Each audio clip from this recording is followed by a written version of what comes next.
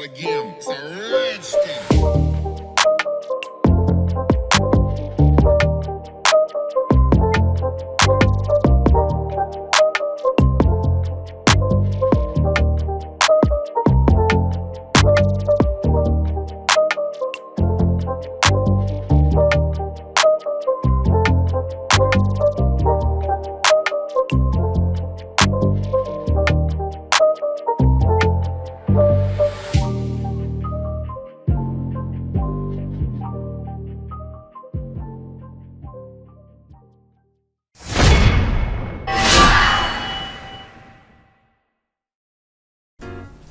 안녕하세요 여러분. 사이오닉입니다. 이번 시간에는 간단한 제품 unboxing을 한번 해볼 수 있도록 할 건데요. 오늘 소개드릴 제품은 이미 많은 유튜버 분들께서 소개해 주신 OLOy의 WarHawk PLATINUM이라는 튜닝 메모리입니다. 요즘 튜닝 메모리가 정말 많은 시대에 새로운 튜닝 메모리가 또 등장했어요. 이 제품은 조텍 코리아에서 정식으로 유통하는 제품이고요. 그리고 들리는 소문에 의하면 가성비가 정말 좋은 제품이라고 합니다 일단 제품 외형을 한번 살펴보면 화이트 색상의 굉장히 고급스러운 패키지 안에 포장이 되어 있고요. 이 위에 ASUS의 Aura Sync, 뭐 MSI의 Mystic Light, 기가바이트의 RGB 퓨전, 그리고 ASRock의 Polychrome Sync까지 모든 마더보드 제조사 RGB 연동 프로그램과 호환이 가능하다고 표시되어 있습니다. 자, 박스 후면에는 별다른 특별한 내용은 없고요. 이 우측 하단에 제품의 스펙이 있습니다. 25,600 클럭 그러니까 3200MHz고요. 8기가 2개가 구성된 16기가 킷입니다.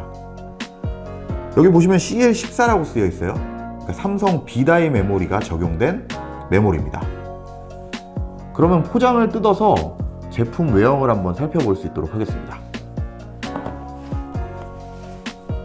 자, 박스 우측에 보시면 이렇게 리본이 있는데요. 이 리본을 당기면 서랍처럼 이렇게 나옵니다. 제품을 처음 봤을 때 눈에 띄는 부분은 메모리의 디자인과 색상입니다. 독수리가 날개를 펼친 듯한 디자인을 하고 있고요. 화이트 색상의 PCB 그리고 화이트 색상의 방열판이 적용이 되었습니다. 자, 메모리를 자세히 살펴보면 화이트 감성의 시스템에 굉장히 어울릴 만한 메모리입니다. 그리고 LED가 점등되는 부분은 이 상단에 이 라인에 따라서 LED가 점등되고요. 날개 부분이죠. 이렇게 4개의 포인트에 양쪽으로 LED가 점등이 됩니다. LED가 점등되는 건 영상으로 확인했는데 뭐 광량도 나쁘지 않고 디자인도 꽤 괜찮아 보입니다.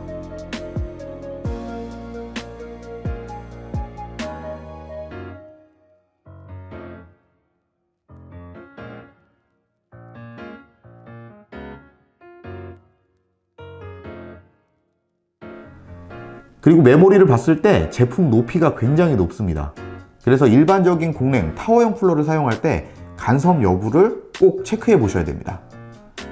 공랭 쿨러를 제외하고 일체형 수랭 쿨러나 custom 수랭을 사용하신다면 전혀 문제없이 사용하실 수 있습니다.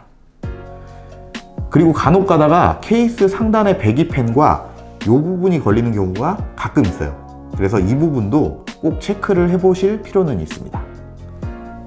그리고 성능적인 부분에는 삼성전자의 B다이 메모리가 들어간 만큼 굉장히 우수하다고 합니다.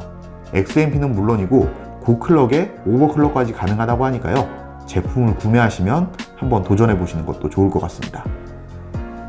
자 그리고 무엇보다 좋은 건 제품의 AS입니다.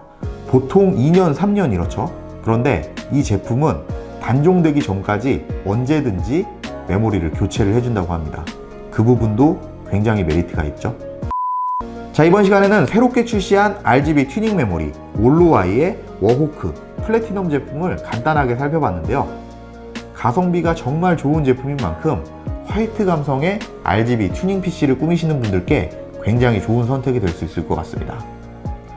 자 아무튼 제가 오늘 준비한 영상은 여기까지고요. 오늘 영상이 재미있고 유익하셨다면 그리고 앞으로의 영상이 더욱 기대되신다면 사이오닉 유튜브 구독과 좋아요 부탁드리겠습니다. 앞으로 더욱 멋진 시스템 그리고 더욱 재밌는 영상으로 인사드릴 수 있도록 하겠습니다. 고맙습니다.